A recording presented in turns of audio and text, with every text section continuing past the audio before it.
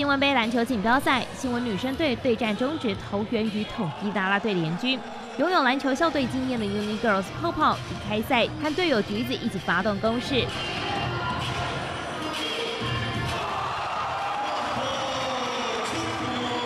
而连续三年参赛的 Lami Girls 赛前喊出打破零分口号，想要赢得比赛。只不过新闻女生持续发动攻势，最终以三十比十九打赢啦啦队联军。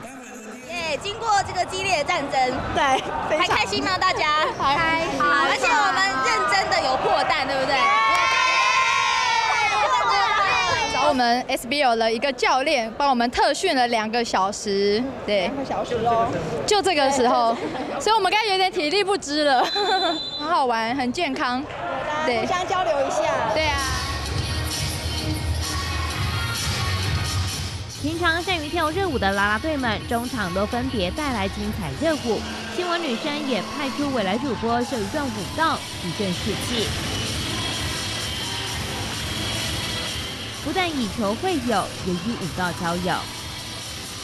今年之所以会请到四队啦啦队呢，其实是因为他们都非常的想参加新闻杯，所以我还没邀请之前，他们很早就自己主动来说想要来跟我们打比赛，所以这也达成我们宣传篮球的目的，我觉得非常开心。Mami Girls 也表示，这次靠 Army 曲曲得到分数，明年还要组一个复仇者 Mami Girls 联盟再来挑战。中央社记者张新伟台北报道。